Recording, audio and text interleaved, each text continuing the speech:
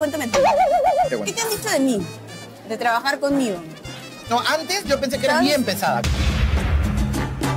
Cuando tú eras en de guerra, me caías más o menos así como que... So, so, so, so. Por yo agua no- tibia, por agua O sea, tibia. yo no te voy a mentir. No, está bien. Yo era mami chilover Ya, en bien. ese entonces. Ya. Pero ahí cuando te conocí y cuando toda la gente fue conociendo un poco más de Yasmín, dije, uy, me gusta cómo habla esa chica.